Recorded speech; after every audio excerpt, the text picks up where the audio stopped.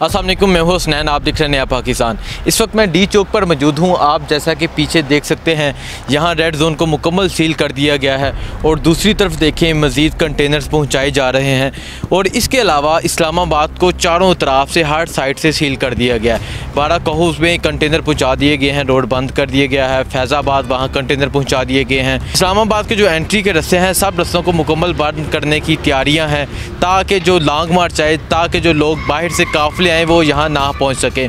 और इसके अलावा गिरफ्तारियों का सिलसिला जारी है। डॉक्टर यासमीन राशद के घर के बाहर हमाद अजहर के घर के बाहर और इसके अलावा जो पाकिस्तान तरीके इंसाफ के मुतहरिक रहनुमा है मुतहरिक कारकुन हैं उन्हें गिरफ़्तार करने की आ, कोशिश जारी है। लिस्टें तैयार हो चुकी हैं। तो आपको दिखाने का मकसद ये था ये वो एरिया है डी चौक जहाँ इससे पहले इमरान खान ने अपने बहुत बड़े जलसे किए। लेकिन अब यहाँ के जो आ, एंट्री पॉइंट हैं यहाँ के जो एंट्री गेट हैं जैसा कि ये है मुकम्मल सील कर दिया गया है। हर तरफ़ कंटेनर लगाए जा रहे हैं। अब देखना यह है कि क्या इस तरह इन कारकुनों को रोक सकेंगे या इमरान खान अपना लॉन्ग मार्च लेके यहाँ इस्लामाबाद पहुँचेंगे। आगे क्या होगा, आप देखते रहिएगा। इन आपको हर अपडेट देते रहेंगे और लॉन्ग मार्च की जो मुकम्मल तफसीत होंगी, वो अब तक पहुँचाते रहेंगे। असल मैं वो स्नैन आप देख रहे हैं नया पाकिस्तान। इमरान खान ने पच्चीस की कॉल दी है। पच्चीस को पूरा मुल्क इस्लामाबाद पहुँचे लोग आज से ही यहाँ पहुँचना शुरू हो गए सर आप जिस तादाद में यहाँ लोग देख रहे हैं, लोगों का जोशो जज्बा देख रहे हैं, क्या कहना चाहेंगे? बसमीम जज्बा तो इनका इतना अरूज पे अभी कि इनको कोई रोक भी नहीं सकता। हम नहीं चाहते कि गवर्नमेंट कोई ऐसा कदम उठाए कि जिससे हमारे मुल्क को नुकसान हो। अगर वो उठाएँगे तो ये लड़ने मरने तक तैयार हैं। तो फिर इसलिए हम अभी गुरेज कर रहे हैं कि हमारे मुल्क को नुकसान ना हो। हमारी यही उनको सजेशन है। तो कोई ऐसा कदम ना उठाएँ। हमारा एहतजाज करना हमारा हक है, जमहूरी हक है। हम एहतजाज करते हैं पुरमन करते हैं। 2014 में भी हमने धरना किया इतने लाखों लोग लाए, एक गमला भी नहीं टूटा था। अभी भी ऐसे ही होगा। आप हमें एहतजाज करने दें इनको, वो इनको आकर डिस्कस करें, बात माने या ना माने वो बात का मसला है। लेकिन कोई इंटरेस्ट पैदा किया अगर गवर्नमेंट ने तो वो अच्छा नहीं होगा, मुल्क के लिए अच्छा नहीं होगा। और गवर्नमेंट के लिए भी अच्छा नहीं होगा। उसका खुमियाजा गवर्नमेंट को भुगतना पड़ेगा फिर। अच्छा मुझे बताएँ पुलिस की एक बारी नफरी बुला ली गई है इस्लामाबाद में। जगह जगह रुकावटें खड़ी की जा रही हैं।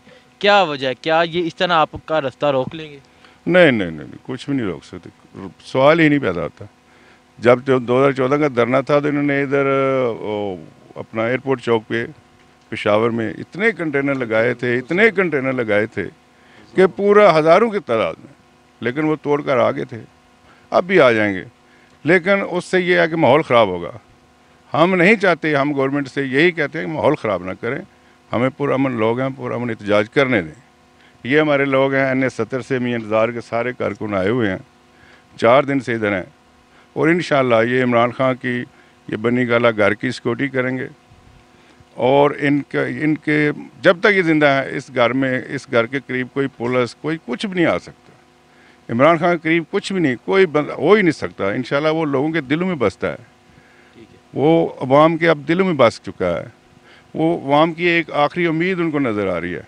अवाम ये कह रही है अभी नहीं तो कभी नहीं।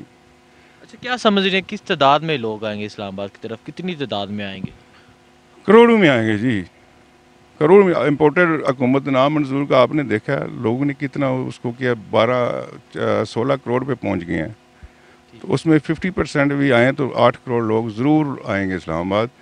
हमने भी, हमारे लोग भी काफ़ी गुजरात हैं सत्तर से मियाँ इंतज़ार के कारकुन जो हैं वो आ चुके हैं।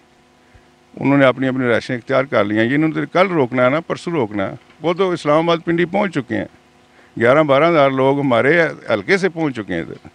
ऐसे ही दूसरे हल्कों से भी पहुँच चुके हैं। जैसे ही वो इमरान खान साहब उधर से निकलेंगे, पेशावर से तो लोग ऐसे निकलेंगे इधर से आप देखते रहना कि वो आ किधर से गई है मखलूक इनशाला मैं हूँ आप देख रहे हैं नया पाकिस्तान। आज मैं इस्लामाबाद में मौजूद हूँ इमरान खान ने पच्चीस की कॉल दी है इस्लामाबाद की लोग आज से ही यहाँ पहुँचना शुरू हो गए हैं। सर कहाँ से आए हैं और क्या जोशो जज्बा है आपका? सर बिसमीम सरगोदा हल्का एन अठासी से आया हूँ। हमने ये सोचा ये रास्ते बंद करेंगे पच्चीस को हम दो दिन पहले चले जाते हैं। इमरान खान के लिए हम जान देने के लिए तैयार हैं। हमने घर में बीवी परवाह नहीं है। हमने अल्लाह के सुपुर्द किया है। हम इधर आएँगे हमें जान भी देनी पड़ेगी हम देंगे। क्योंकि इमरान खान एक ईमानदार लीडर है वो करप्ट नहीं है। इनकी ज़्यादा बार इमरान खान की पाकिस्तान में। है ठीक है इमरान खान ने बनी गाला का घर जो है वसीयत नामे में लिखा है कि मेरे मरने के बाद ये शौकत खानम का है। ये ये हमारे मुल्क का क्या नुकसान करेगा? ये तो अपनी माँ का जनाजा पढ़ने नहीं आए। इनसे तो वो चकवाल का मोहम्मद खान डाकू बेहतर था जिसने गुलाम हैदर वाई को कहा कि मुझे माँ का जनाजा पढ़ने दे बाद में मुझे गिरफ़्तार कर लेना। ठीक है हम इन आखिरी दम तक लड़ेंगे। पीछे नहीं हटेंगे। खान के साथ है इन और जज्बे के साथ है। हम इधर फुटपाथों पे सोए हुए हैं इसलिए इमरान खान के लिए सोए ज़िंदगी में हम किसी के जलसे में नहीं गए हमारी बैतालीस साल उम्र है। पहले कभी किसी के जलसों में नहीं गए इमरान खान के अलावा। किसी से कोई पैसा नहीं लिया कुछ नहीं लिया अपनी जेबों में तीस तीस चालीस चालीस हज़ार ले कर आए हैं। ठीक है? हम हर लम्हा इमरान खान के साथ हैं हमारा ख़ानदान साथ है। इन सरगोदा में इमरान खान का समझ रहे हैं क्यों आप इस हुकूमत को गिराना चाहते हैं? ये तेरह चोरों की पार्टी है इकट्ठी है। जरदारी कहता था मैं इसको घसीटू का शबाज शरीफ कहता था मैं इसको घसीटू का अभी इनकी रिश्तेदारी बन गई है। ये मौलाना साहब जो हैं फजल रहमान साहब वो कभी कहता है औरत की हुक्मरानी हराम है कभी कहता है हलाल है। क्या इनकी किस किस बात पे हम यकीन करें? हुकूमत गिरा के ही वापस इन गिरा के जाएँगे। ये तो पच्चीस की रात भी नहीं बर्दाश्त करेंगे। इनशाला कितनी तादाद में लोग आएँगे? सरगोदा से कितनी तादाद सरगोदा में हमारे साथ जो है ना एक लोडर है। एक क्रेन सरगोदा पुल ग्यारह से सात आएगा। इनके जो कंटेनर है ना दस दस वो ऐसे उठाएँगे जैसे वो शहीन जो है ना चूजा उठाता है पाँव में। हाँ उधर से लोडर क्रेन साथ आएगा। इनका बाप नहीं ये जो राना बांदरी सनाउल्ला है। ठीक है? ये इस्लाम वालेकुम सर आपका क्या जोशो जज्बा है? यहाँ पहुँच गए हैं दो दिन बाकी हैं अभी। बस इंतज़ार में एक्साइटेड है बहुत कि कब होगा। मतलब ये इंतज़ार ख़त्म नहीं हो रहे। हम तो कब से इंतज़ार में बैठे कि कब होगा कब हम बस अपनी जेलों में भिजवाएँगे। क्या समझ रहे हुकूमत गिरा के वापस जाएँगे? ऑब्वियसली सर यही इसी के लिए तो यही तो हमारे मकसद है हमारा। इसमें तो कोई शक ही नहीं है। अच्छा क्या समझ रहे हैं किस तादाद में लोग आएँगे इस्लामाबाद की तरफ़? कितनी तादाद में आएँगे? करोड़ों में आएँगे जी। करोड़ इम्पोर्टेड हुकूमत नाम मंजूर का आपने देखा लोगों ने कितना उसको किया, बारह सोलह करोड़ पे पहुँच गए हैं। तो उसमें फिफ्टी परसेंट भी आए तो आठ करोड़ लोग ज़रूर आएँगे इस्लामाबाद। हमने भी, हमारे लोग भी काफ़ी गुजरात हैं, सत्तर से मियाँ इंतज़ार के कारकुन जो हैं, वो आ चुके हैं।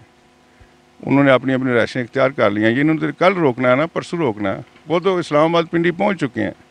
ग्यारह बारह हज़ार लोग हमारे हल्के से पहुँच चुके हैं इधर। ऐसे ही दूसरे हल्कों से भी पहुँच चुके हैं। जैसे ही वो इमरान खान साहब उधर से निकलेंगे पेशावर से तो लोग ऐसे निकलेंगे इधर से, आप देखते रहना कि वो आ किधर से गई है मखलूक इन